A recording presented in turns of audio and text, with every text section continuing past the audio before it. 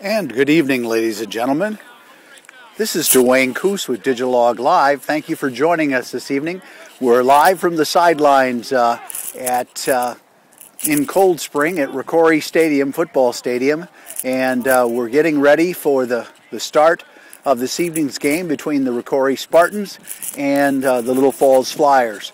Once again, earlier I mentioned that these two teams uh, did face one another earlier in the season, and uh, the Flyers came out victorious.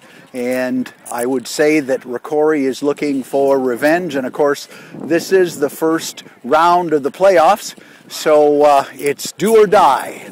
Uh, we hope you'll enjoy the game. So we'll give you just a few, uh, few little views here of what's happening here right before the game.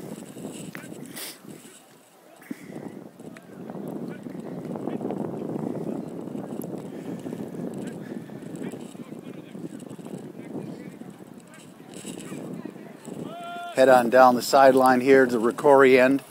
Uh, I should mention that uh, there is a concern on the Rocori side in terms of senior Derek Leeser, who's the quarterback.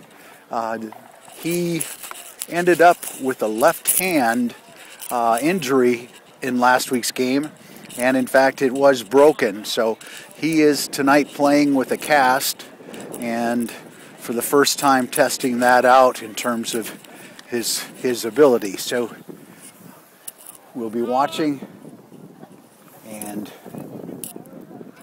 certainly looking to see how that works out for Leaser's quarterbacking.